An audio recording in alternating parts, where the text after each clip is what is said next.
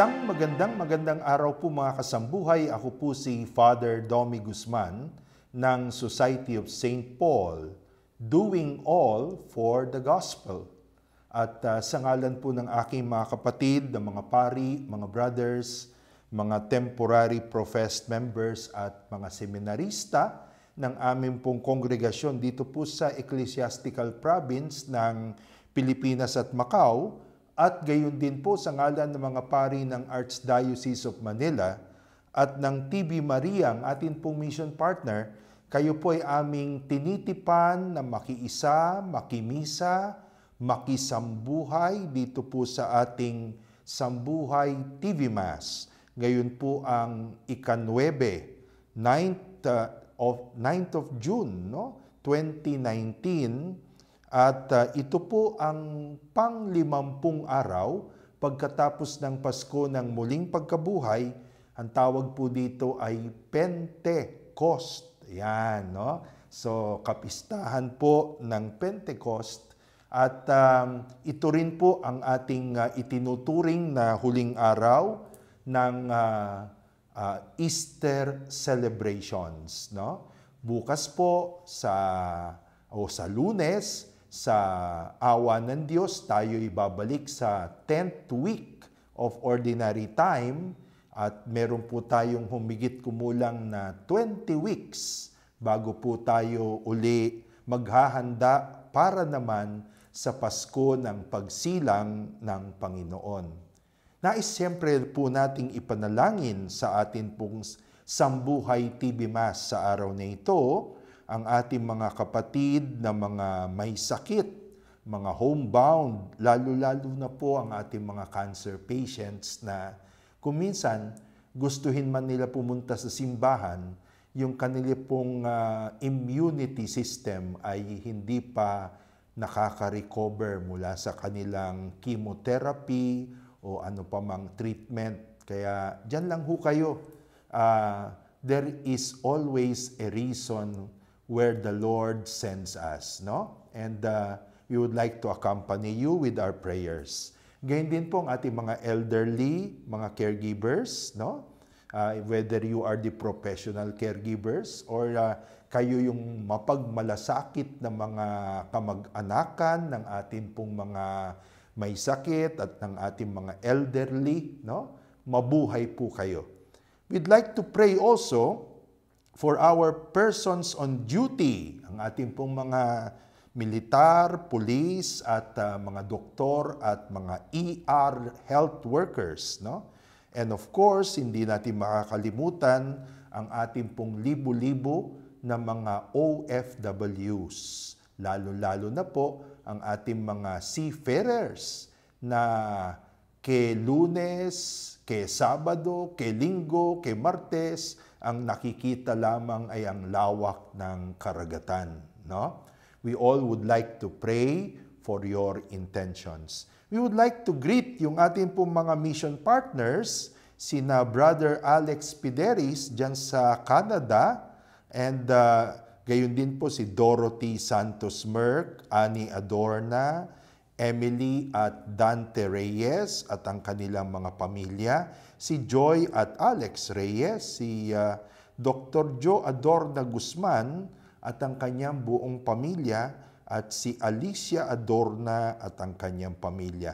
Ang atin pong mga long time na mga kasambuhay na mga mission partners ay atin din pong ipinapanalangin uh, si Leslie Masigan at ang kanyang family, uh, si Miguel, si Sammy at si Jake, Uh, si Tony at Lourdes Choa, si Ed at Norma Arojado, George at uh, Noemi Villarus. We would like to condole with our brother George Villarus na namatay po yung kanyang mother doon sa Iloilo. No? We'd like to pray for your mother. Si Didith at Joey Jacob, si Mariel Diaz, ang kusina ni Kambal, ni Irma, at ni Delio San Miguel, Ang Corazon Ochoa, syempre, at Rosita Kauyan, dyan po sa Discovery Bay sa Hong Kong, si Alma Gonzalez at ang kanyang butihing pamilya dyan sa Los Angeles, Gayon din po si Romel Salvador, Gemma Candela, May Asuncion Resio, Rachel Esteban at Leilani Paladio Himotea. Uh, binabati rin po natin ang atin pong mga kaibigan mula po sa iba't ibang mga pilgrimage groups na nakakasama po natin sa Holy Land. Ang grupo po ng mga spell. Ha? Ito po yung magkakaklase dyan sa uh, La Consolacion, Caloocan. At nag-reunion po sila. Bahagi ng kanilang reunion ay uh, trip to the Holy Lands noon pong uh, Marso no, ng 2019. We would also like to pray uh, and greet yung atin na mga kasama naman po noong October 2018 sa ating Journeys of Faith Holy Land uh, pilgrimage, ang mga pari po ng uh, uh, Recoletos, ang Father Randy, Father Charlie at Joe Alves, hanggang ating pong kaibigang pari mula sa Merinol na nagtatrabaho din po para sa mga OFWs dyan sa Taiwan, no? si Father Joy. At gayon din po ang uh, grupo ni na Cora Cabral, Geraldine Lee, Grace uh, uh, Lara, kanyang pamilya, si Jerry, no? Si Marie Joyce Brillo, Jimmy Olaso, dyan po sa Washington, D.C., si Attorney Jane San Benaventura, uh, si Nino Molina at ang kanyang nanay na si Marites, no? dyan sa South Mall. Si Willie at Arlina Onglao, at si Marites naman ng Journeys of Faith, ang uh, uh, ating kaibigan na si Anton Santos at ang kanyang auntie, si Auntie Julie O'Reilly.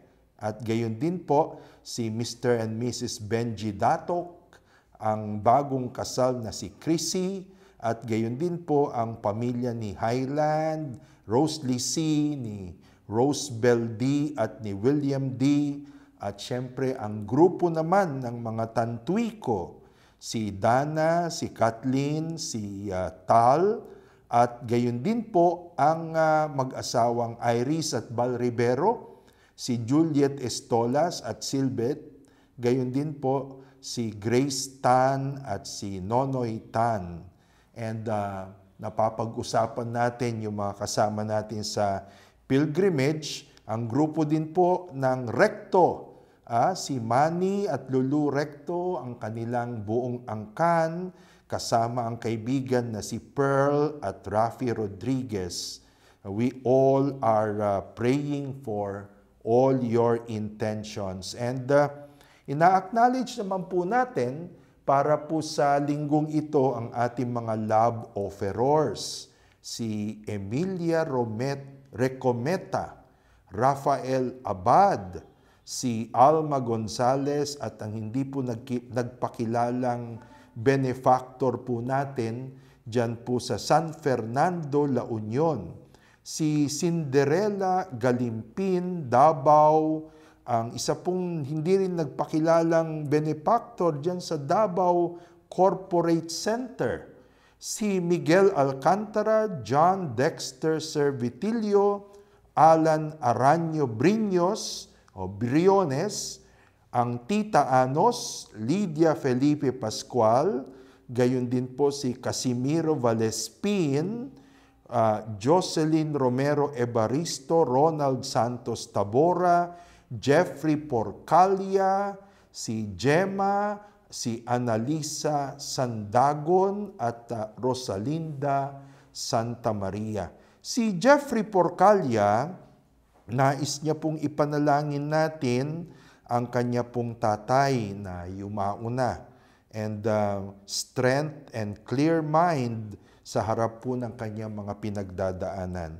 Ang June Tomas naman, gusto niyang ipanalangin po natin ang kanyang mga mahal sa buhay, ang kanyang mga financial concerns at ang eternal repose ni Crisanta Palma, Josefina at Terry Tomas at gayon din po ang eternal repose ng mga magulang ni Jun Tomas, si Sefing at Feli Tomas.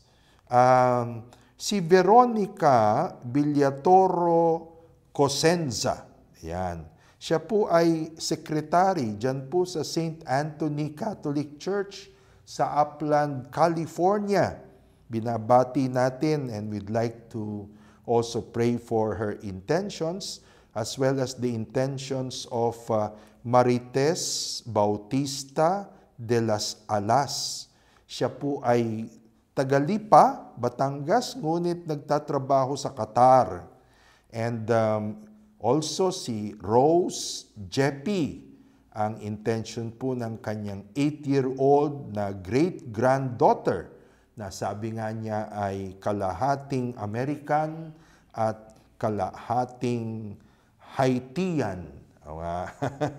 Talagang ito si Rose ay uh, nalahian ng international blood ang kanyang pamilya. Well, marami pong mga Pilipino ganyan. Talagang uh, sabi nga nila ang Pilipino ay may openness sa iba't ibang mga kultura. Madali daw tayong mag-adapt, no? So ngayon po ay solemn feast of uh, Pentecost and um, ang atin pong mga pagbasa na maririnig natin mamaya sa banal na misa, lahat ng ito of course ay uh, nagpapayaman sa atin pong kaalaman tungkol sa Holy Spirit. Uh, alam naman po ng marami na pag, pag pinag-usapan ng Holy Spirit, maliban sa pangalang Holy Spirit, ay uh, wala na tayong masyadong uh, nalalaman tungkol dito sa ikatlong personang ito ng uh, Blessed Trinity. No? Blessed Trinity, pagdiriwang po naman natin sa susunod namang linggo. So, napakaganda na pasadahan po natin itong mga readings natin for this Sunday. For instance, sa atin pong first reading, ang first reading natin syempre ay Acts chapter 2, verse 1 to 11. Ito po yung pamoso na kwento ng Acts of the Apostles about the coming down of the Holy Spirit, Acts 2, 1 to 11. Pero maliban po dyan, kung papansinin natin ng malalim ang pagbasa, ang pagdating pala ng Holy Spirit sa Pentecost, ito po ay uh, hindi isang separate development sa biblical theology, kung hindi Unang-una, sabi po sa pagbasa, in the time of Pentecost. So ibig sabihin, bago pa man dumating ang Holy Spirit, meron na pong Pentecost na tinatawag sa Bible at ito nga po sa Old Testament yung kapistahan ng pagbibigay ng Diyos kay Moses ng tablet of stone ng Ten Commandments. Yun po ang original Pentecost. Kaya po maraming bisita sa Jerusalem nung time of Pentecost na may nangyari sa mga alagad. So, makikita natin, the giving of the Holy Spirit actually is a perfection. Isa pong building up ng nagsimula sa Ten Commandments. Kung sa Ten Commandments, ang binigay ng Diyos ay mga utos na nakaukit sa bato sa pamamagitan po ng Holy Spirit, inilalagay naman ng Diyos ang kanyang uh, will, ang kanyang karunungan o wisdom, hindi na sa bato, kung hindi sa puso ng lahat ng tumatanggap sa Holy Spirit. And uh, of course, in the spirit pa rin po ng first reading, mapapansin po natin na ang Holy Spirit pala, pagdating niya, opposite naman ng kwento ng Genesis chapter 11. But ano ba meron sa Genesis chapter 11? Ito po yung kwento ng Tower of Babel na gusto ng mga tao sa mundo makaakyat sa langit na hindi nila hihingin ang uh, ayuda ng Diyos kung hindi magtatayo sila ng pyramid upang makaakyat sa langit. Pero sabi doon, nagkaiba-iba ang kanilang lingwahe at nagkahiwa-hiwalay sila. Pero dito naman sa Pentecost story, iba't ibang lingwahe and yet they understood the message of God. So yung pong Pentecost is not only linked to the story of Mount Sinai, na kung saan pinerfect ni God ang pagbibigay ng kanyang batas, hindi na lamang sa bato, kung hindi sa puso. At itong Pentecost din, connected with the Tower of Babel, opposite ng Tower of Babel. And because of that, sa kwento, ang pagbaba ng Holy Spirit is in the in the form of tongues of fire. Na para ba sinasabi po sa atin, the Holy Spirit is a spirit of communication. Yan. Sa pamamagitan ng gawain ng banal na Espiritu Santo, the Holy Spirit gave the early church the power, the driving wind. Sabi nga sa pagbasa, the power, the driving wind to communicate. Oh? So, yan po ang unang napakahalagang gawain ng banal na Espiritu Santo. Kaya nga po, sa loob na simbahan, lahat po ng mga nag-pre-preaching, ha, mga pari, mga diakono, mga lay preachers, normally, we pray over them so that the Holy Spirit of communication, the Holy Spirit as tongues of fire will come to them. Another thing, doon po naman sa responsorial psalm, sabi natin, Holy Spirit, come and renew the face of the earth. So the Holy Spirit, brothers and sisters, is not only the spirit of communication, the Holy Spirit is also the spirit of renewal. Ah, di ba yan ang kwento ng mga charismatic? No? mga iba't ibang mga pinagdaanan sa buhay, kung saan-saan hinugot sa buhay yan, pero nung sila po ay uh, bigyan ng kapangyarihan sa Espiritu Santo, they had a renewal of life. So the Holy Spirit is a spirit of renewal. Sa atin naman pong uh, ikatlong maririnig sa Liturgy of the Word, yung second reading natin, Romans 8, 8 to 17, another aspect of the Holy Spirit ay spirit of adoption. Kung tayo man mga anak ng Diyos, we refer to ourselves as brothers and sisters in Christ, mga anak ng Diyos, ito po ay kagagawan din ng Espiritu Santo. Yung hininga ng Diyos, buhay ng Diyos, ibinigay sa bawat isa sa atin kaya magkakaiba man ang ating human family, magkakaiba man ang ating biological family, iisang hininga ang mayroon tayo. At yan po ang hininga ng Diyos.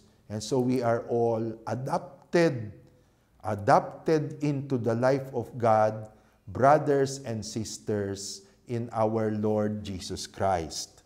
Uh, sa Ebanghelyo naman po, yan, no? Palagay ko, ang magandang matututunan natin about the Holy Spirit dito sa Ebanghelyo ay uh, kung paano ang Holy Spirit ay the spirit of continuity. Yan.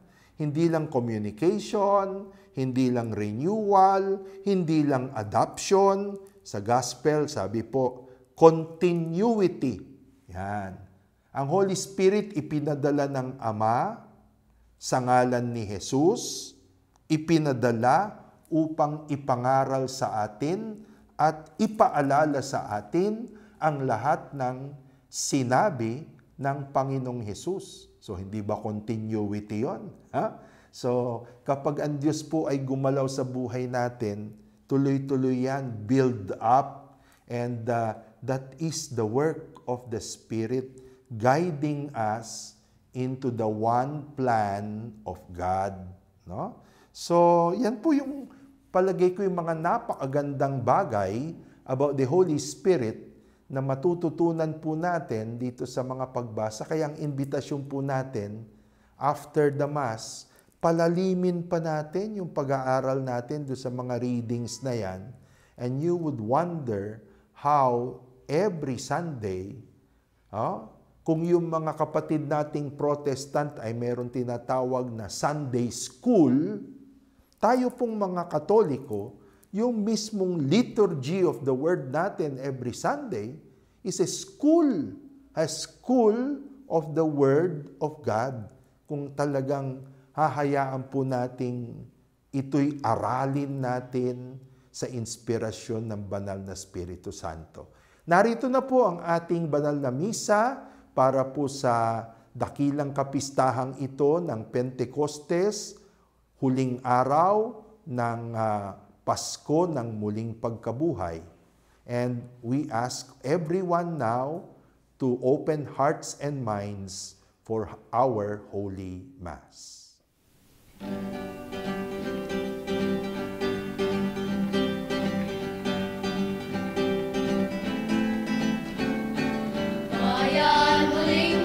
Sa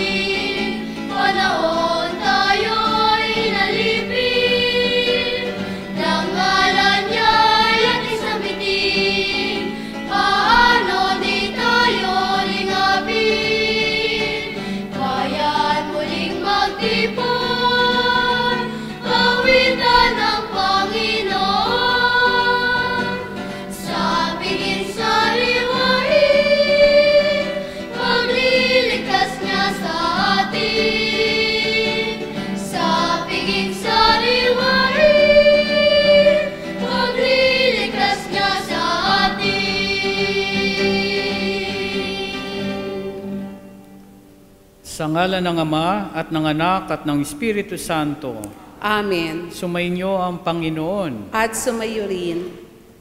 Mga kapatid, puspos ng Espiritu Santo, ipinahayag ng mga apostol ang mabuting balita sa iba't ibang wika. Sa lahat ng mga biyaya ng Espiritu, ang isa sa pinakamakapangyarihan ay ang biyaya ng pakikipagkasundo na siyang naghahanda sa puso natin upang tanggapin at isabuhay ang iba pa niyang mga biyaya. Sa misang ito, hayaan nating pumasok ang Espiritu ng Diyos sa ating buhay at manalangin tayong katulad ng mga mananampalataya. Halina, Espiritu Santo.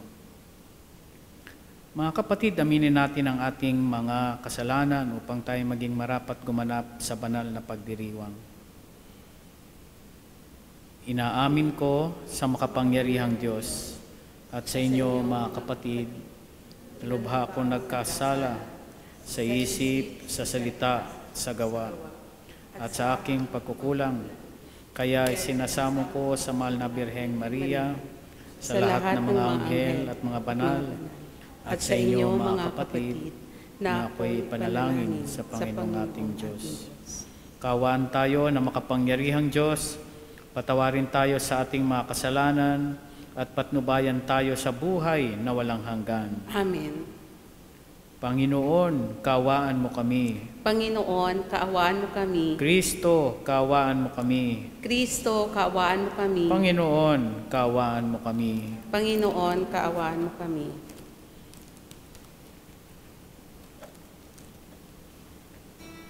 Panginoon,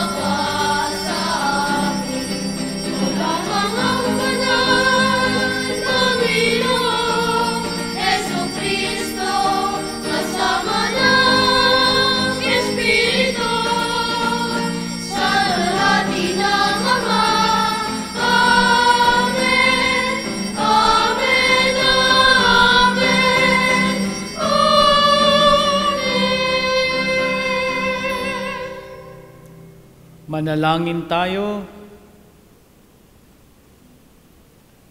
Ama naming makapangyarihan, pinababanal mo ang iyong pandaigdig na sambayanan sa ipinahayag mo ngayon sa dakilang kapistahan.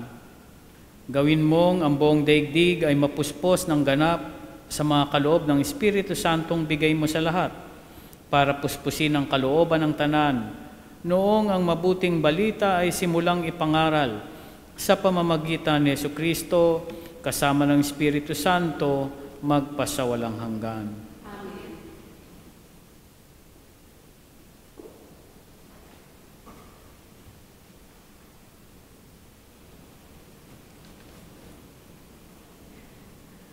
Pagbasa mula sa gawa ng mga apostol. Nang sumapit ang araw ng Pentecostes, nagkatipon silang lahat sa isang lugar at biglang narinig ang isang ugong mula sa langit, animoy hagunot ng malakas na hangin, at napuno nito ang bahay na kinaroroonan nila. May nakita silang wari mga dilang apoy na lumapag sa bawat isa sa kanila. At silang lahat ay napuspos ng Espiritu Santo at nagsalita ng iba't ibang wika ayon sa ipinagkaloob sa kanila ng Espiritu. May mga Hudyong buhat sa iba't ibang bansa na naninirahan noon sa Jerusalem, mga taong palasamba sa Diyos. Nang marinig ang ugong na ito, nagdatingan ang maraming tao Namangha sila sapagkat sinasalita ng mga alagad ang mga wika nila. Sa kanilang pagtataka ay kanilang nasabi, Hindi ba Galileo silang lahat? Bakit ang ating-ating katutubong wika ang naririnig natin sa kanila? Tayo'y mga taga-Parsya, mga taga-Media, mga taga-Elang, mga naninirahan sa Mesopotamia, sa Judea, at sa Cappadocia, sa Ponto at sa Asia. Mayroon pa sa ating mga taga-Phrygia at Pamphylia, Ehipto at sa mga saklaw ng Libya na sakop ng Sirene. At mga nakikipanirahan mula sa Roma, maging mga Hudyo at mga naakit sa Judaismo. May mga taga-Kreta at Arabia pa rito paano sila nakapagsasalita sa atin-ating mga wika tungkol sa mga kahangahangang gawa ng Diyos. Ang salita ng Diyos. Salamat sa Diyos. Espiritu mo'y suguin, poon, tanay yung baguhin. Espiritu mo'y suguin, poon, tanay yung baguhin. Pinupuri ka, poong Diyos, nitong aking kaluluwa, o Panginoong Diyos, kay dakila mong talaga, sa daigdig ikaw poon, kay rami ng iyong likha, sa dami ng nilikha mo'y nalaganapan ang lupa. Espiritu mo'y suguin, poon, tanayong baguhin. Natatakot mga matay, kung kitlin mo ang hininga, mauuwi sa alabok, pagkat doon mula sila. Taglay mo ang Espiritu upang buhay ay ibalik bagong buhay ay dulot mo sa nilikha sa daigdig. Espiritu mo'y suguin, poon tanay yung baguhin. Sana ang iyong karangalay manatili kailanman sa lahat ng iyong likha ang madamay kagalakan. Ang awit ng aking puso, sana naman ay kalugdan habang aking inaawit ang papuri sa may kapal. Espiritu mo'y suguin, poon tanay yung baguhin.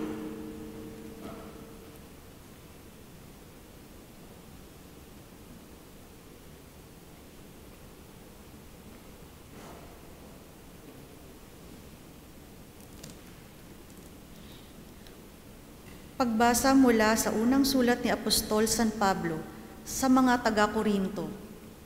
Mga kapatid, hindi masasabi ni Numan, Panginoon si Jesus, kung hindi siya pinapatnubayan ng Espiritu Santo. Iba't iba ang kaloob, ngunit iisa lamang ang Espiritong nagkakaloob ng mga ito. Iba't iba ang paraan ng paglilingkod, ngunit iisa lamang ang Panginoong pinaglilingkuran. Iba't iba ang mga gawain, ngunit iisa lamang ang Diyos na sumasa lahat ng taong gumagawa ng mga iyon. Ang bawat isa ay binigyan ng kaloob na naghahayag na sumasa kanya ang Espiritu para sa ikabubuti ng lahat. Sapagkat si Kristo'y tulad ng isang katawan na may maraming bahagi, bagamat binubuo ng iba't ibang bahagi, iisa pa rin katawan. Tayong lahat, maging Hudyo o Grego, alipin man o malaya, ay bininyagan sa iisang espiritu upang maging isang katawan.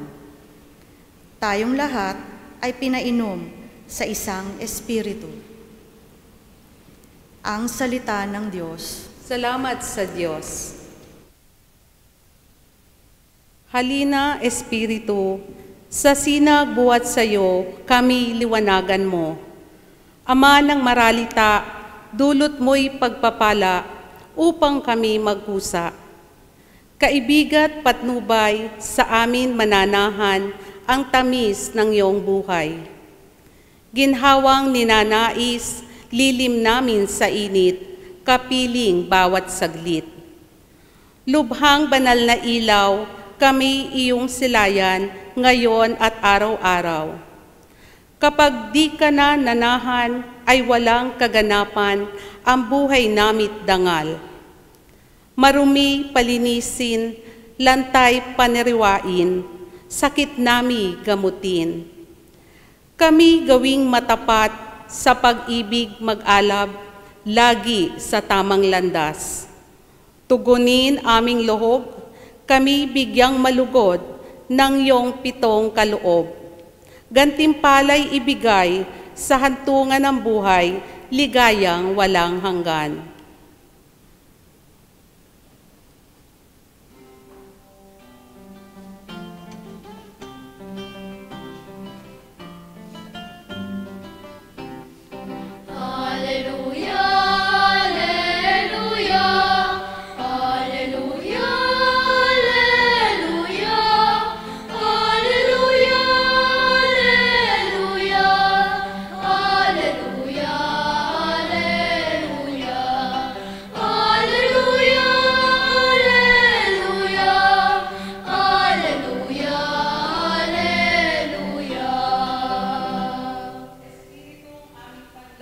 Kami yung liwanagan sa ningas ng pagmamahal. Alleluia,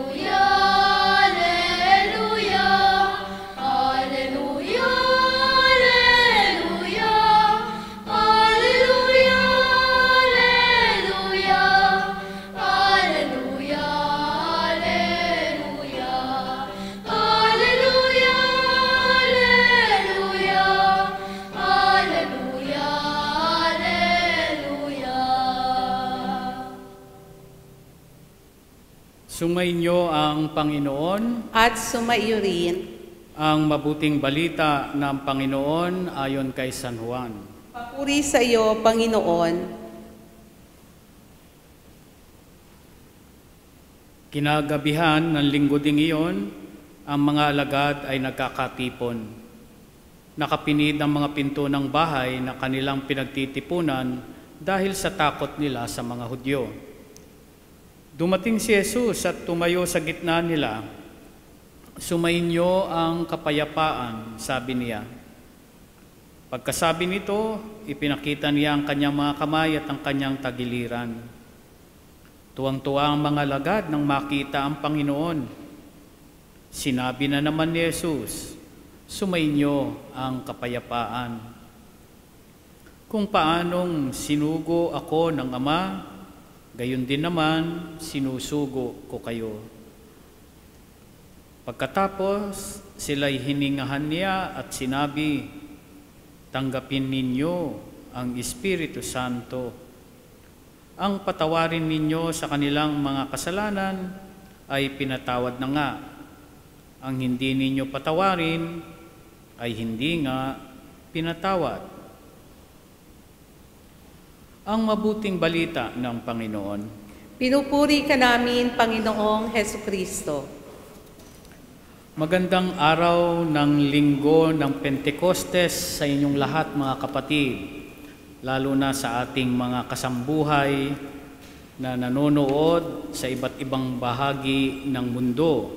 Of course, hindi natin makakalimutan ang ating mga OFW uh, na mga kababayan. Uh, noong nakaraang Abril, pagkatapos ng Easter Sunday sa gabi, ay uh, umalis ako at nagpunta sa Roma. At uh, noong magbo-board na kami sa papuntang Dubai muna, ay may sumabay sa aking isang Pilipino at tinanong kung ako raw si Father Tucci. Eh yung pala siya ay masigasig na nanonood ng Sambuhay TV Mas natin. Nagtatrabaho siya sa Dubai, sa gitna ng dagat, pero hindi siya seaman. Nagtatrabaho siya dun sa oil rig yata yun. Kaya sabi ko sa kanya, sige, ano bang pangalan mo at babatiin kita. Sinabi niya, ewan ko lang kung tama na naalala ko yung pangalan. Kung hindi ako nagkakamali, ang pangalan niya ay Michael Vedanya. Kung hindi man tama yon, alam mo naman siguro na ikaw yung binabati ko. Dahil dal- tayong dalawa lang ang nag-usap papasok sa eroplano. So, kumusta yung mga kasama mo dyan? Uh, binabati ko kayong lahat dyan habang nagtatrabaho ay uh, nakakapanood pa rin kayo ng uh, ating misa linggo-linggo. Sa linggong ito ay espesyal na pagdiriwang. Pinagdiriwang natin ang dakilang kapistahan ng tinatawag na nakakalimutang persona ng Diyos. Sabi ng professor namin sa theology, the forgotten person of God. Pag tinanong ng mga katoliko, mga kristyano, sino ang Diyos mo? Si Jesus po, si Yahweh, si Yahweh El Shaddai. Naku, bihirang-bihirang babanggitin na uh, Diyos din ang Espiritu Santo kung meron mang babanggit. No? So wag po nating kalilimutan na ang Espiritu Santo ay Diyos din. Kaya ang linggong ito, ang pagdiriwang natin sa linggong ito, ay inihahanda tayo sa susunod na dakilang kapistahan din naman ng banal na isang tatlo. No? So merong tatlong persona ang Diyos. Ama, Anak at Espiritu Santo. Ilan ang Diyos? Naku, hindi tatlo. Kung hindi isa lang, pero tatlo ang persona. Ang persona ay hindi sabi nga hiwalay na Diyos. No, ito ay uh, isang persona o tatlong persona sa iisang Diyos. Paano natin ba mabibigyan ng kabuluhan ng kapistahang ito ng Pentecostes o ang pagsabi nga ay pag, uh, pagdakilang kapistahan na tumutukoy una sa lahat sa Espiritu Santo? Palagi ko naman marami sa atin ang nakaranas na ng mga pagkakataong tayo ay uh, medyo matamlay sa buhay, siguro bigo sa pag-ibig, ako eh, madalas na may mga pangyayaring ganito. Hindi po ibig sabihin bigo sa pag-ibig. Yung kung hindi yung parang nangihina. Pero naalala ko, ang isa sa mga pinakapangunahing nakakapagbigay sa akin ng sigla, yung uh, sunrise. No? Lalo na pag nasa Boracay ka, no? napakaganda ng sunrise. Yung iba, sunset.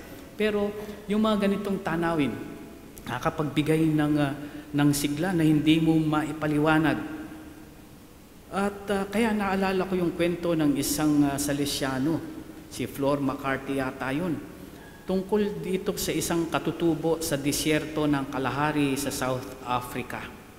Sabi doon sa kanyang kwento, merong isang uh, katutubo, no, isang native na nakulong sa isang maliit na bagay lamang naman, no, maliit na paglabag sa, ba- sa batas. At doon sa kulungan, eh wala naman siyang sakit. May pagkain. Maayos naman ang kanyang tulugan. Ibibigay ang mga pangunahin niyang pangangailangan. Pero nagtataka yung mga gwardya, yung mga kasama niya, dahil nanghihina siya. At parang mamamatay na. At nang tanungin siya kung ano ang nangyayari sa kanya, ang sagot nitong katutubo, hindi ako mabubuhay nang hindi ko laging nakikita ang paglubog ng araw sa disyerto ng Kalahari. Napakaganda siguro ng sunset doon sa kanila. At para sa kanya, yun ay isang buhay, nakakapagpalta, nakakapagpataas ng kanyang espiritu. Sa makatwid, para sa katutubong yon, hindi katawan niya ang unti-unting namamatay, kundi ang kanyang kaluluwa o ang kanyang espiritu. Ang mga kapatid, ang espiritu natin, sabihin natin yung kaluluwa natin, ang pangunahing bukal ng ating lakas. Kung ang mga ibon ay may mga pakpak para makalipad, ang mga puno ay mayroong ugat para manatiling buhay at matatag na nakatayo. Ganon din tayo. Dahil sa ating espiritu, nagkakaroon tayo ng inspirasyon. Kaya sabi ko, pagka medyo malungkot, hindi magandang pakaramdam, pag nakakita ng sunrise, ay sumisigla, nagkakaroon ng inspirasyon. Ang inspirasyon, hindi lang ibig sabihin eh, yung para bang ah, ah, parang ah, emotional no, at romantic na bagay. Inspirasyon, ang totoo po ay galing sa salitang ah, inspirare. No? Inspirare. Ito ay galing sa sal- ang, ang, ang, ang ah, ugat na salita ay may kaugnayan sa hininga. Hininga ng Diyos. Sa makatwid, buhay ang pinag-uusapan kapag ka espiritong nagbibigay ng inspirasyon. Ang espiritu nagbibigay sa atin ng sigla, ng sigasig. Nakikita at nararanasan natin ang kabuluhan ng buhay dahil sa espiritong yan. Pero samantalang ang espiritu ay talagang pinanggagalingan ng ating lakas, maaari din naman itong maging marupok. Kaya kailangan din nating palakasin o pakainin ito, kumbaga, kung papaano natin pinalalakas at pinakakain ng ating katawan. Kaya ang tanong, ano ba ang mga nagpapalakas sa ating espiritu? What makes our spirit soar like a bird? Ika nga. At on the other hand, ano rin naman na nagpapahina o nagpapalubog sa ating espiritu? Alam natin, una sa lahat, kalungkutan, pagdadalamhati, ito ay talagang parang mabigat na sako ng bigas sa ating uh, balikat at ibinabagsak ang ating espiritu kapag ka tayo ay malungkot at nagdadalamhati. On the other hand, kagalakan naman ang nagpapataas sa ating espiritu. Ewan ko kung gaano karami sa inyo ang mahilig doon sa cake na tiramisu. Ay, sarap nun. Bakit? Alam niyo ba ang ibig sabihin ng tiramisu? Ito ay salitang Italiano na uh, literally ang ibig sabihin ay pull me up or else pick me up and yes, of course, ang ibig sabihin cheer me up. Kaya yung nakakakain ng uh, tiramisu ay talagang sumisigla. Dahil una sa lahat, asukal yun eh. Talagang sisigla ka. No? Pag inabot ka naman ng diabetes, yun lang. Ang medyo, kaya konti-konti lang. No? So, tiramisu, pick me up, cheer me up. And what cheers us up? What picks us up? No other than this, the, the joy, no? Yung uh, kagalakan sa buhay na para bang all of a sudden, bigla tayong sumisigla. On the other hand, ang uh, mga yung pagpuna, yung mga pang-iinsulto sa atin, yan naman yung again, nakakapagpababa ng espiritu. Kaya pag minsan sinabi sa atin, no? Uh, pag may nagsabi, on the other hand, yung papuri, yung appreciation sa atin, nakakapagpasigla naman yan. Sabi nung isa, oh, sa kaibigan, sa kanyang kaibigan, Uy, ang ganda-ganda mo naman, Besh. Bagay na bagay sa yung make-up mo. Eh, yung isa naman, anak ko, nega. Ang sabi, ano ba naman yung make-up mo? Ang kapal-kapal ng foundation mo, para kang espasol ng Laguna. No? Pwede kang ipagpag ah. No? So, alin dito ang talagang gusto ng Espiritu? Malinaw na malinaw. Ganon din, despair o yung kawalan ng pag-asa causes the spirit to wilt. Naku, na para talagang bugbog na bugbog tayo sa buhay. And yet, pag nagkaroon ng pag-asa, mabuting balita, nakakarinig ng magandang solusyon sa problema, then we become hopeful. And hope breathes life into our spirits. Again, rejection. Sumusugat ito sa ating espiritu.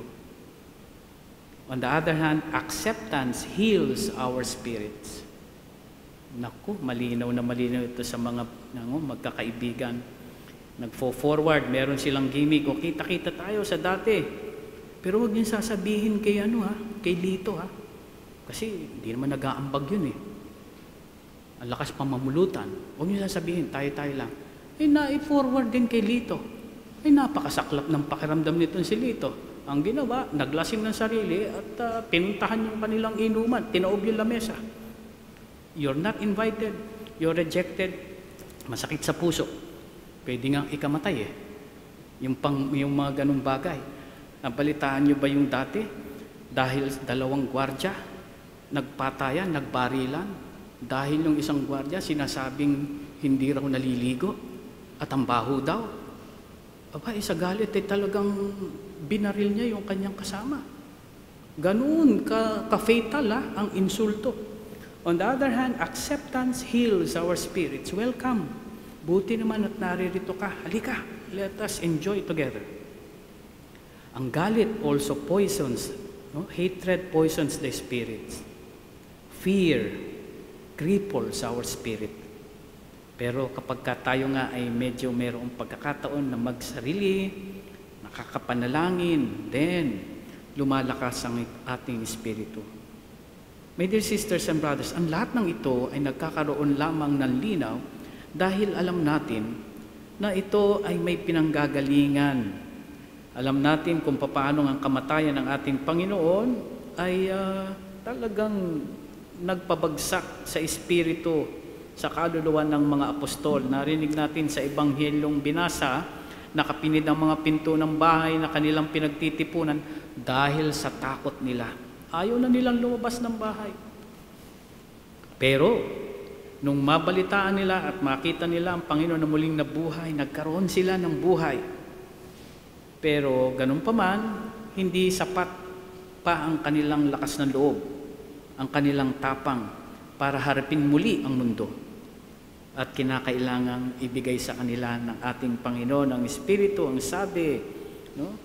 uh, hiningahan sila at sinabi, tanggapin ninyo ang Espiritu Santo. So, malinaw mga kapatid, hindi na natin tinatanong kung kailan ba talaga binigay ang Espiritu. Ang, kap- ang kapistang ito ay hindi tungkol sa kung kailan ibinigay.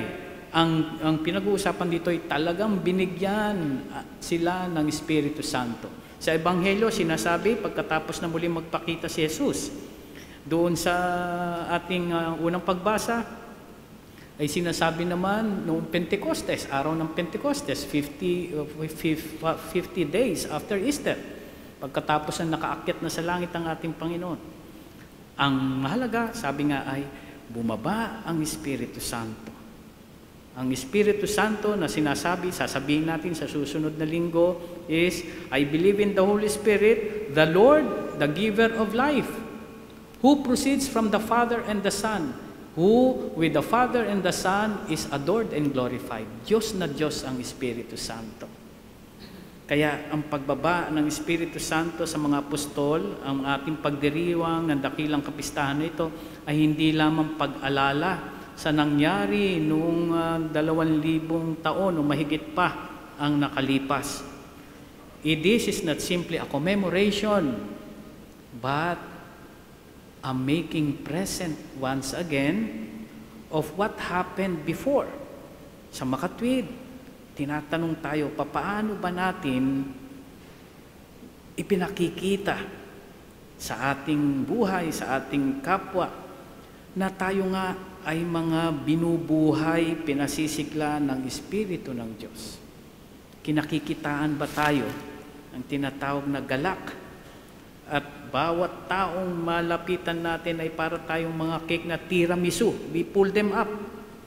At tayo ay nagpupuri, nagpapasalamat sa mga kaibigan at sinasabi natin ang mabubuting bagay na totoo rin naman sa kanila.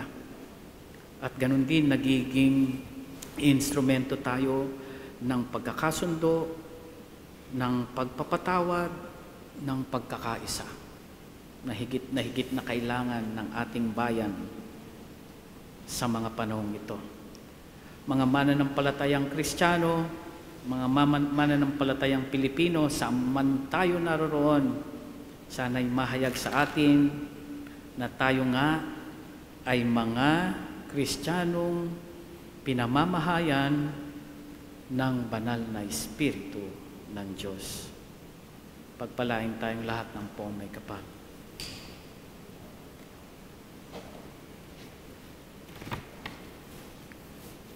Sumasampalataya ako sa Diyos Sa Diyos ang makapangyarihan sa lahat. na may gawa ng langit at lupa. Sumasampalataya ako kay Heso Kristo, iisang anak ng Diyos, Panginoon nating lahat. Nagkatawang tao siya lalang ng Espiritu Santo, ipinanganak ni Santa Mariang Birhen, pinagpakasakit ni Poncio Pilato, ipinako sa krus na matay inilibing, nanaog sa kinaroroonan ng mga yumao, nang may ikatlong araw na buhay na maguli, umakyat sa langit, laluluklok sa kanan ng Diyos amang makapangyarihan sa lahat. Doon magmumulang paririto at huhukom sa nangabubuhay at nangamatay na tao. Sumasampalataya naman ako sa Diyos Espiritu Santo, sa banal na simbahang katolika, sa kasamahan ng mga banal, sa kapatawaran ng mga kasalanan, sa pagkabuhay na muli na nangamatay na tao, at sa buhay na walang hanggan. Amen. Ang Espiritu Santo, ang ating gabay, tagapagbigay buhay, at tagapagdala ng kapayapaan. Manalangin tayo sama na isugo niya sa atin ang Espiritong Banal. Sa bawat kahilingan, sabihin natin, Panginoon, patnubayan mo kami ng iyong Espiritu. Panginoon, patnubayan mo kami ng iyong Espiritu.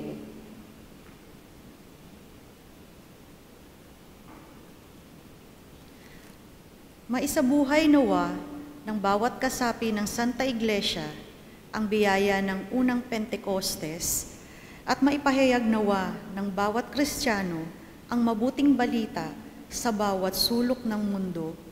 Manalangin tayo. Panginoon, patnubayan mo kami ng iyong Espiritu.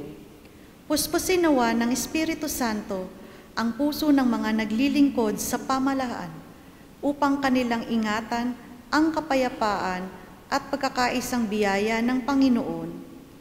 Manalangin tayo. Panginoon, patnubayan mo kami ng iyong Espiritu. Gabayan nawa ng Espiritu Santo ang kabataan sa kanilang pang-araw-araw na mga pagsubok at pakikisalamuha sa lipunan. Manalangin tayo. Panginoon, patnubayan mo kami ng iyong Espiritu. Hipuin nawa ng Espiritong Banal ang puso ng mga naliligaw ang landas at matuklasan nawa nila ang ikalawang pagkakataong inaalok ng Panginoon para magbagong buhay. Manalangin tayo. Panginoon, patnubayan mo kami ng iyong Espiritu. Ama namin mapagmahal, isugo mo sa amin ang Espiritu Santo upang mabago ang mundo at pabanalin ang lahat ng bagay sa iyo. Iniling namin ito sa ngalan ni Kristong aming Panginoon. Amen.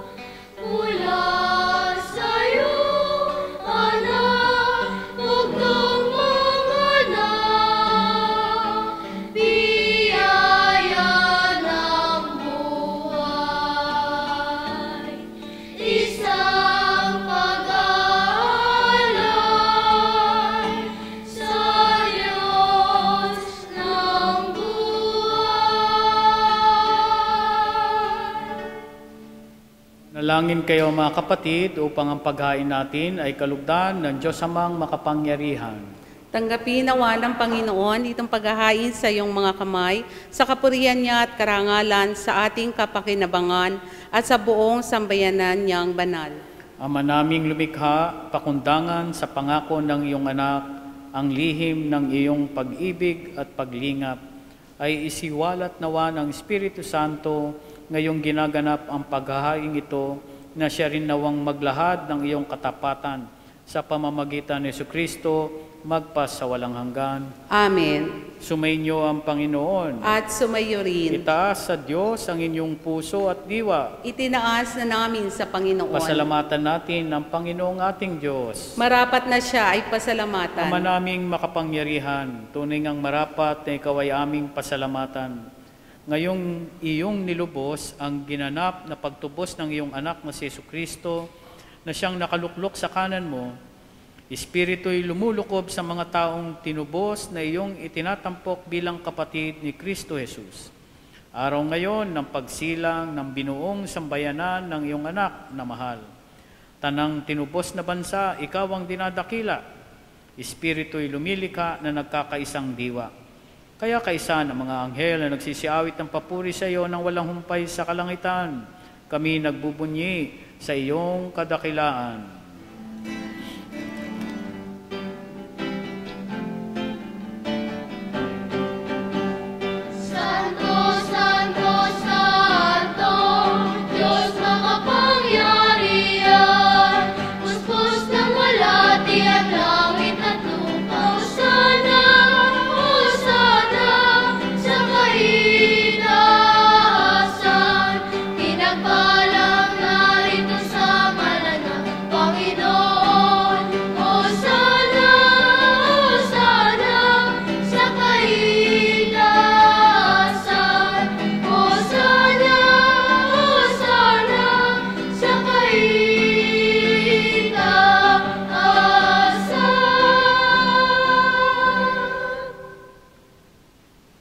Ama naming banal, ikaw ang bukal ng tanang kabanalan. Kaya't sa pamamagitan ng iyong Espiritu, gawin mong banal ang mga kaloob dito upang para sa amin maging katawan at dugo ng aming Panginoong Heso Kristo. Bago niya pinagtiisang kusang loob na maging handog, hinawakan niya ang tinapay, pinasalamatan kaniya, pinaghati-hati niya iyon, iniabot sa kanyang mga lagad at sinabi, Tanggapin ninyong lahat ito at kanin. Ito ang aking katawan na iahandog para sa inyo.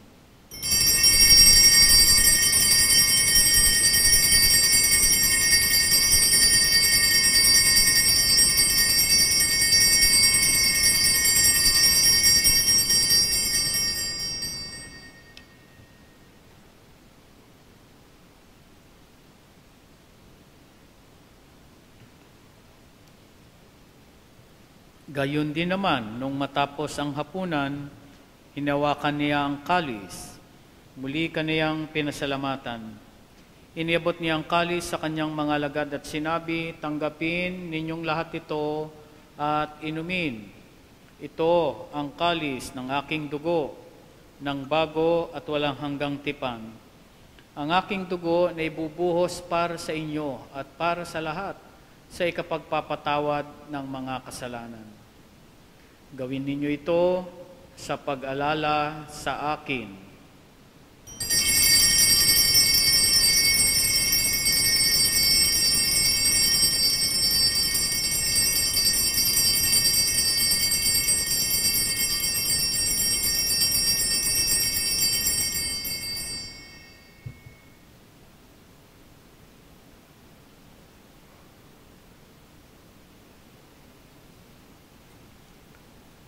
Ipagbunyi natin ang misteryo ng pananampalataya. Si Kristo ay gunitain,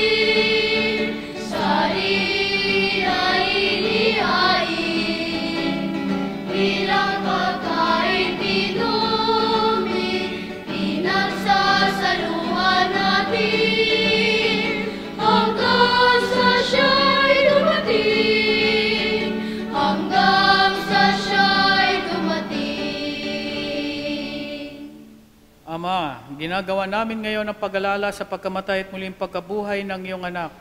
Kaya tiniaalay namin sa iyo ang tinapay na nagbibigay buhay at ang kalis na nagkakaloob ng kaligtasan. Kami nagpapasalamat dahil kami iyong minarapat na tumayo sa harap mo para maglingkod sa iyo. Isinasamo namin kaming magsasalo-salo sa katawan at dugo ni Kristo ay mabuklod sa pagkakaisa sa pamamagitan ng Espiritu Santo. Ama, lingapin mo ang iyong simbahang laganap sa buong daigdig. Puspusin mo kami sa pag-ibig kay San Francisco na aming Papa at ni Luis Antonio na aming Obispo, ni Broderick na katuwang niyang Obispo at ng Tanang Kaparian. Alalahanin mo rin ang mga kapatid naming nahimlay nang may pag-asang sila'y muling mabubuhay. Gayon din ang lahat ng mga pumanaw. Kawan mo sila at patuloyin sa iyong kaliwanagan. Kawan mo at pagindapatin kaming lahat na makasalo sa iyong buhay na walang wakas. Kaysa ng mahal na Birheng Maria na ina ng Diyos, kaysa ni San Jose na kanyang esposo, kaysa ng mga apostol at ng lahat ng mga banal na namuhay dito sa daigdig ng kalugod-lugod sa iyo. May pagdiwang nawa namin ang pagpupuri sa ikararangal mo sa pamamagitan ng iyong anak na aming Panginoong Heso Kristo. Sa pamamagitan ni Kristo, kasama niya at sa Kanya, ang lahat ng parangal at papuri ay sa iyo, Diyos Amang makapangyarihan, kasama ng Espiritu Santo, magpasawalang hanggan.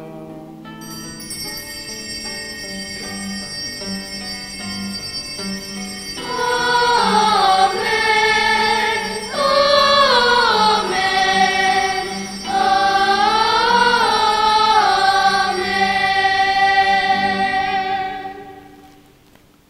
Bilang mga magkakapatid kay Kristo, sama-sama natin ngayong dasalin ang panalangin itinuro mismo sa atin ng ating Panginoon.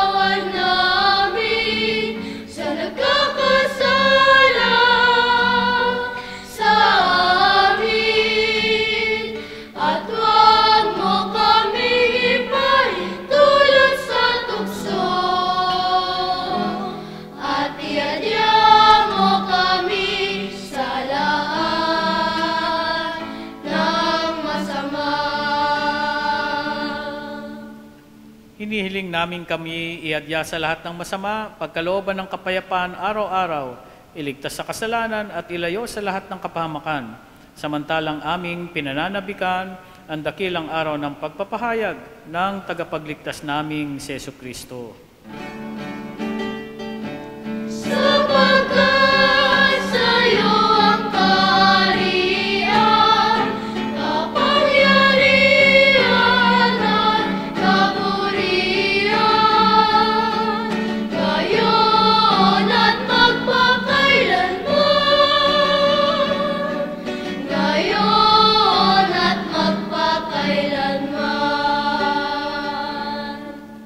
Panginoong Heso Kristo, sinabi mo sa iyong mga apostol, kapayapaan ang iniiwan ko sa inyo, ang aking kapayapaan ang ibinibigay ko sa inyo.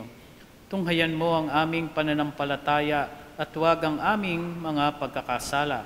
Pagkalooban mo kami ng kapayapaan at pagkakaisa ayon sa iyong kalooban, kasama ng Espiritu Santo, magpasawalang hanggan. Amen. Mga kapatid, ang kapayapaan ng Panginoong muling nabuhay ay laging sumainyo. At sumayo rin. Magbigayan tayo ng kapayapaan sa isa't isa. With you.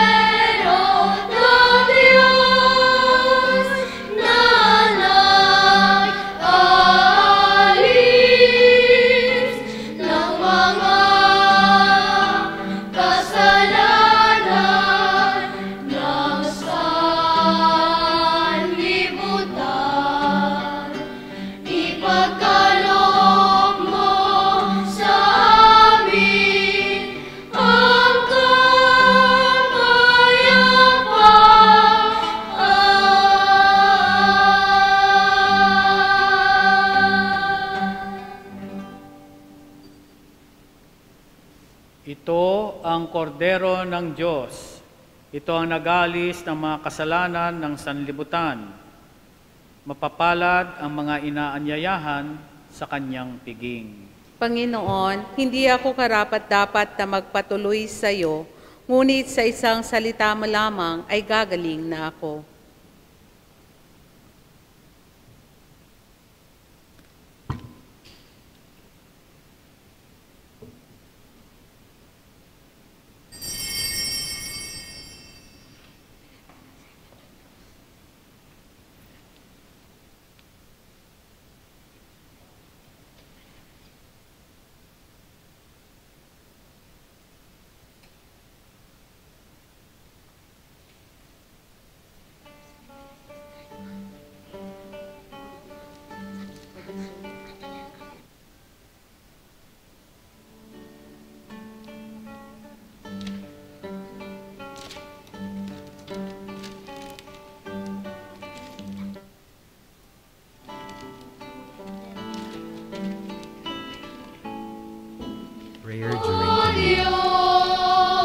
For those who cannot receive communion, join us in praying the spiritual communion.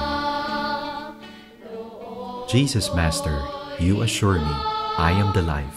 Whoever eats my flesh and drinks my blood will have eternal life. In baptism and in the sacrament of reconciliation, you have communicated to me this life of yours. Now you nourish it by making yourself my food. Take my heart, detach it from the vain things of the world. With all my heart, I love you above all things, because you are infinite good and eternal happiness. Amen. Prayer of Overseas Workers.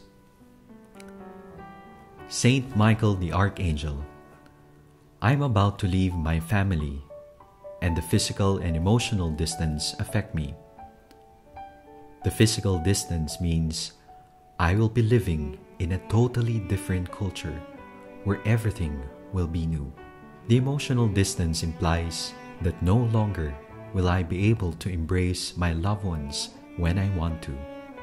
You have done special mission for God, and you did it confidently, trusting that everything will be all right because our Creator has everything in His hands. Share with me the same faith. Make this travel a part of my mission here on earth. I have to leave for the good of my family and loved ones. I have to leave to do God's will. While I am away from them, protect them from dangers. Let them feel my presence through my letters and calls. Make us a strong family, even though we are far from one another. Saint Michael, through your intercession, may Jesus be the light of the family and Mary be our mother too.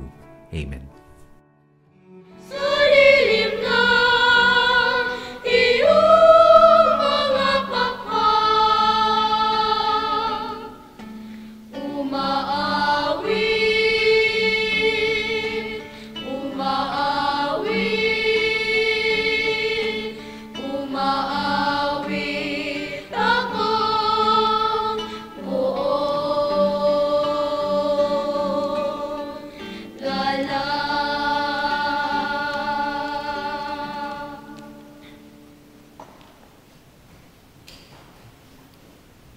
Manalangin tayo.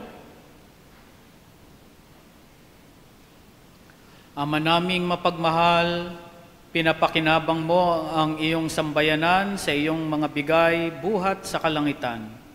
Ang iyong pagpapalang kaloob sa amin ay iyong panatilihin upang laging masaganang dumaloy ang Espiritu Santo at ang aming pinagsaluhan sa pagdiriwang na ito ay magdulot ng pag-unlad sa pamamagitan ni Kristo magpas sa walang hanggan. Amen. Sumainyo ang Panginoon. At sumayo rin. Yumuko kayo habang iginagawad ang pagbabasbas. Ang Diyos Ama ng Kaliwanagan ay nagkaloob ngayon ng tanglaw sa kalooban ng mga alagad na pinuspos niya ng Espiritu Santo. Pagpalain nawa kayo ng mga kaloob ng Espiritu Santo ngayon at magpasawalang hanggan Amen. at pagpalain kayo ng makapangyarihang Diyos, Ama, Anak, at Espiritu Santo. Amen. Taglayin ninyo sa inyong pagalis ang kapayapaan ni Kristo. Aleluya, aleluya. Salamat sa Diyos. Aleluya, aleluya.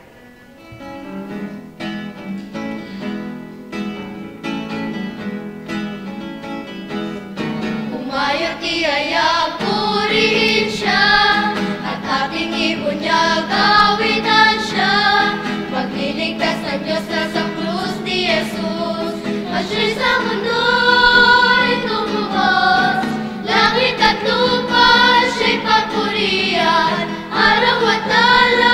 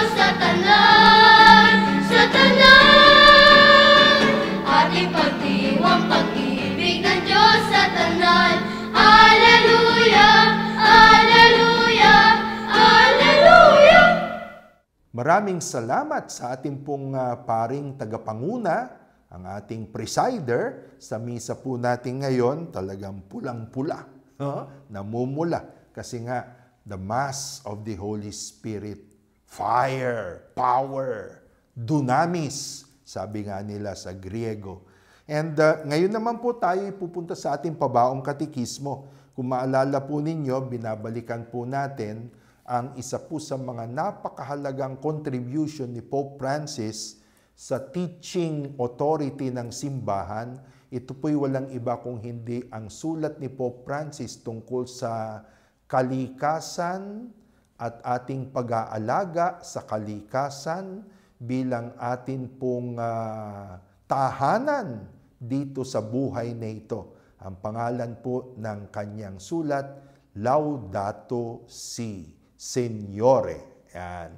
Praise to you, O Lord. Ayan. Galing po yan sa mga unang kataga ng panalangin ni San Francisco de Assis tungkol sa kagandahan ng kalikasan. Anyway, ngayon sa araw pong ito, I'd like to look at paragraph 3 paragraph 4, paragraph 5, and uh, paragraph 6. No? 3, 4, 5, 6 ng Laudato Si. Ano po ang matutunghayan natin dito sa mga paragraphs na ito? Ito po yung mga uh, papal precedents. Yan, ano? So, bago pa itong Laudato Si ni Pope Francis, ang mga Santo Papa, na nauna kay Pope Francis ay naglabas na rin po ng mga kartas, mga sulat na may kaugnayan po sa kamunduhan natin, sa ating buong mundo at pangangalaga ng mundo. Okay? So at ito po'y nirecall ni Pope Francis sa paragraph 3 to 6 ng Laudato Si. Napakahalaga po upang ipakita sa atin na ito pong Laudato Si ay hindi po usbong sa bulkan, kung tawagin, no? Kung hindi, it is really a continuing development of the magisterium of the church. Yan, no? Ito lang ay uh, pagtutuloy-tuloy ng pangangaral ng simbahan na nagsimula pa noon tungkol sa concern natin sa nagaganap sa atin pong mundo sabi nga nila, ang simbahan ay hindi lamang nandoon sa sakristiya. Yan. Ang pari ay hindi lang pang sakristiya, kung hindi, mayroon din tayong kaugnayan sa developments ng mundo. Unang-una, nire-recall po ni Pope Francis na si John the 23rd, na isa na pong ganap na santo ngayon, ay nagsulat din ng isang encyclical na kung tawagin ay Pacem in Terris. No? Uh, literally, peace on earth. Yan. Na kung saan, ang point po dito ni Pope Francis, ang naging concern ni John Paul o ni John the 23rd ay hindi lamang upang pangaralan ang lahat ng katoliko. Kung hindi, sabi nga ni John the 23rd, when you speak about the earth, you speak about all men and women of goodwill. Yan.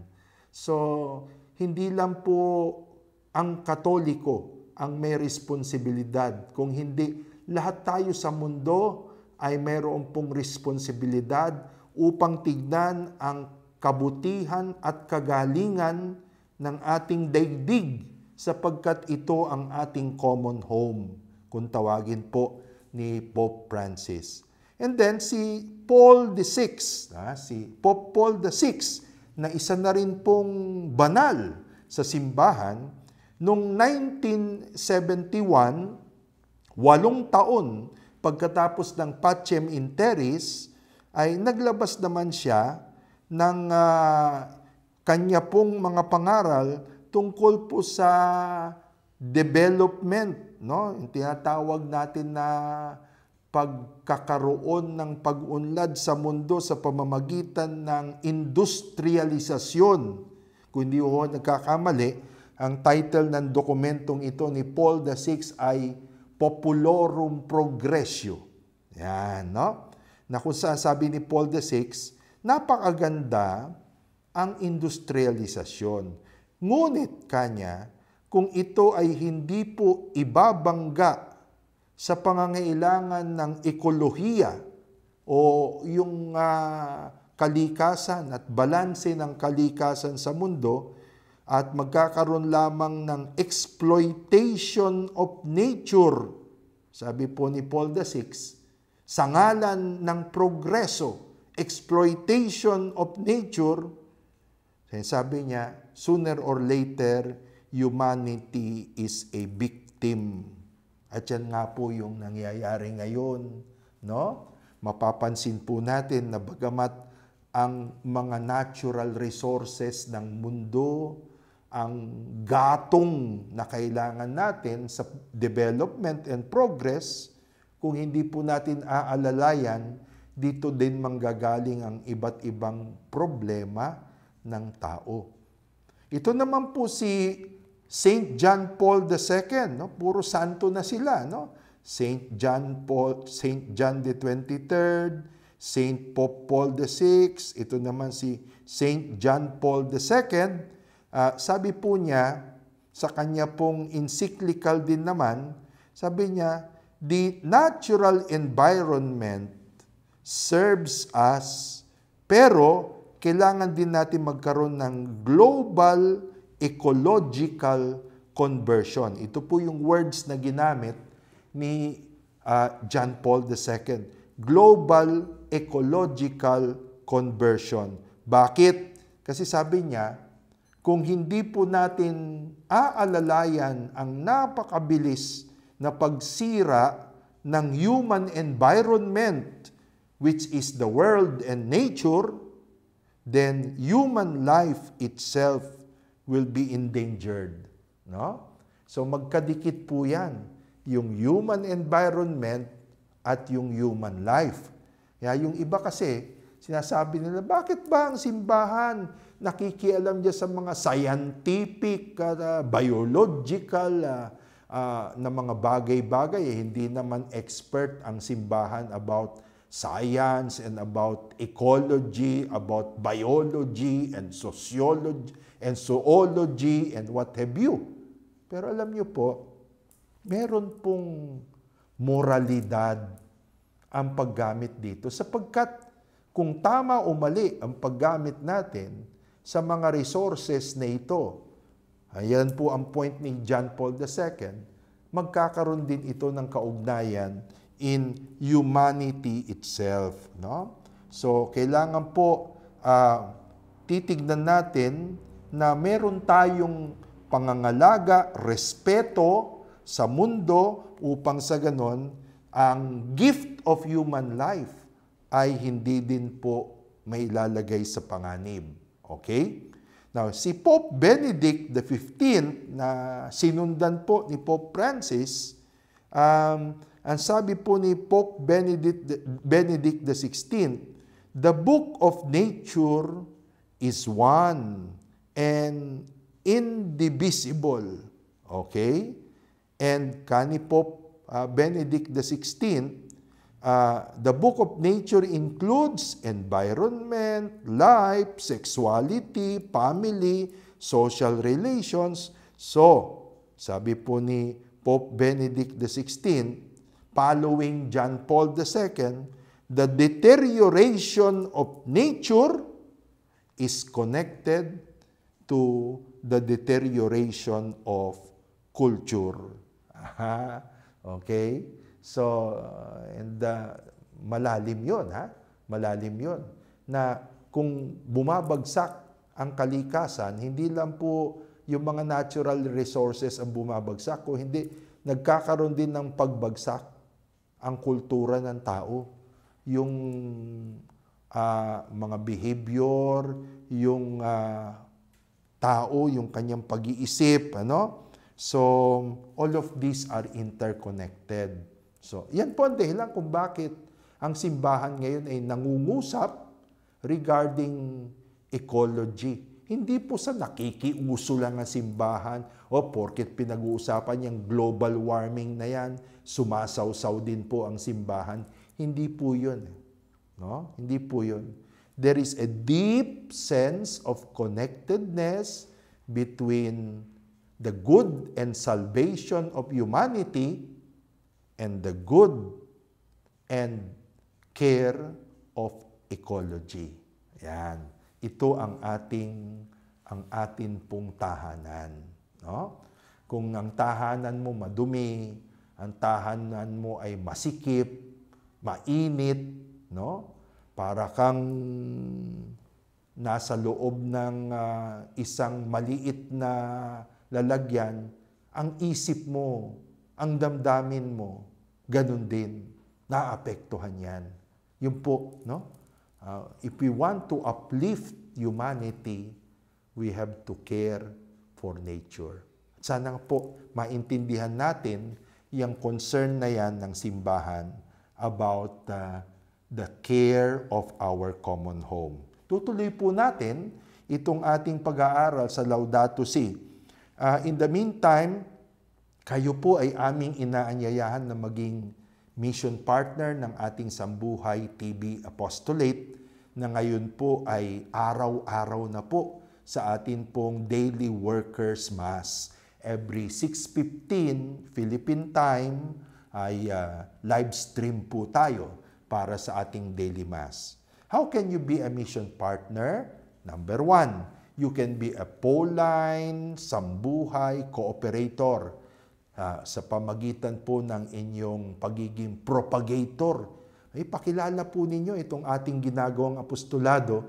Nasa screen po natin ang iba't ibang mga Facebook, uh, Messenger account, uh, ang iba't ibang mga ginagamit din ng TV Maria na mga cable channels upang itelecast ang atin pong uh, Sambuhay TV Mass. Ipakilala po natin ito Let's spread the good news. Yan, no? And let us be a uh, sambuhay Pauline cooperator. Pangalawa po, you can be a sambuhay Pauline cooperator, syempre sa pamagitan po ng inyo pong uh, pag-share ng blessings. No? Alam naman natin, upang ituloy-tuloy po natin ang apostoladong ito, ang teknolohiya ay nagbabago. So kailangan din i-upgrade natin ang atin pong technology. Maraming salamat po doon sa mga regular na nagbibigay at kung gusto po ninyong maging uh, sambuhay Pauline cooperator sa pamagitan po ng love offerings, nasa screen po natin ang iba't ibang account numbers na gamit natin. Kung may problema, paki-message po kami para mabigyan ho namin kayo ng advice kung ano yung mga alternatibo po na pwede nating gawin. And of course, you can be a uh, Sambuhay Pauline Cooperator, mission partner, sa pamagitan po ng inyong interaction sa amin. No? Nasa screen po ang ating uh, cellular number para po sa inyong mga iba't ibang mga feedbacks at mass intentions. Sa ngalan po ng ating uh, St. Paul Audiovisuals, sa pangunguna po ni Father Resti de la Peña at uh, ni Brother Ed Dantes at lahat ng bumubuo ng uh, production at technical staff po natin, iniiwan natin ang panalangin ito ng aming founder, si Blessed James Alberione, to spend the week well. My dear and sweet Mother Mary, keep your holy hand upon me. Guard my mind, my heart, my senses, that I may never commit sin. Sanctify my thoughts, affections, words, and actions, that I may always please you. Jesus, Jesus and Mary, give me your most holy blessing. Langit at lupa, siya'y papurian, araw at ala, siya'y parangalan, ating pagdiwang pag-ibig Diyos sa talan, sa talan.